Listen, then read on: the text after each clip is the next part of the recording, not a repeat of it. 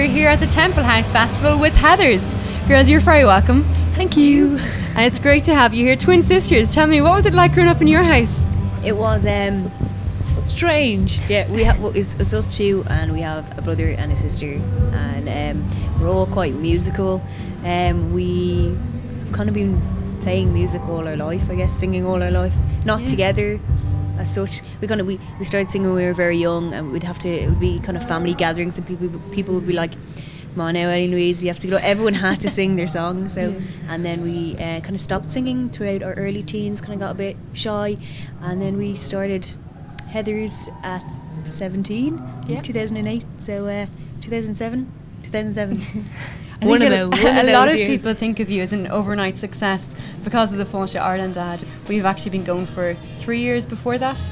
Yeah, we started in yeah in 2008, in eight, 2008 as I said, and um, we released our album uh, between as a split between an American underground DIY label called Planet X and Hideaway Records, which is um, was a kind of a DIY Irish label, and we toured that in, in the states and stuff, and um, and then we re-released it uh, when the when the Fáilte Ireland ad Yeah.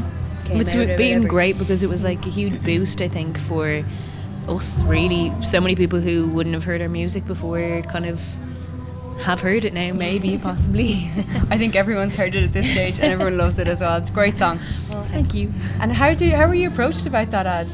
Um, we were we were approached by a guy who looks for songs for advertisements, and um, he you know mentioned the idea to us, and we were like, well, okay, but you know there wasn't we weren't sure whether we were going to get it or not, and we were just convinced that we wouldn't get it anyway because you know we're us. and uh, but then we were told that. Um, our song had been chosen to do it, and uh, we were absolutely shocked, and still are, really. I think, and yeah, no, it was great. Brilliant. And you've been touring around America and UK and doing a lot of great festivals around Ireland as well. How has it all been for you? Yeah, it's it's been amazing. Like um, we, I guess the first two tours we toured America twice with the band called Ghost Mice, and that was as a result of the first release, which was on Planet X, the American label.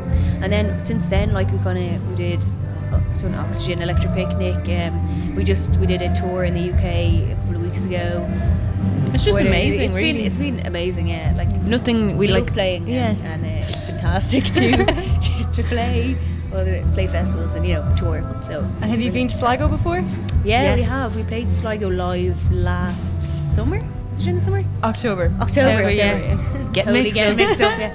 Um, Sligo's lovely. beautiful. Yeah. Yeah, really, really nice. So you'll be back to see us again soon? Oh yes. Definitely, definitely. Brilliant. And how can we find out a little bit more about you for anyone that wants to know? Uh, if you go on to www.heathersmusic.net, that uh, that's our website and has links to everything. So, Brilliant. Well, ladies, I hope you enjoy the rest of the festival. You're staying tonight, camping out? Yep. Oh no, we're not camping, but uh, we're gonna we'll be around.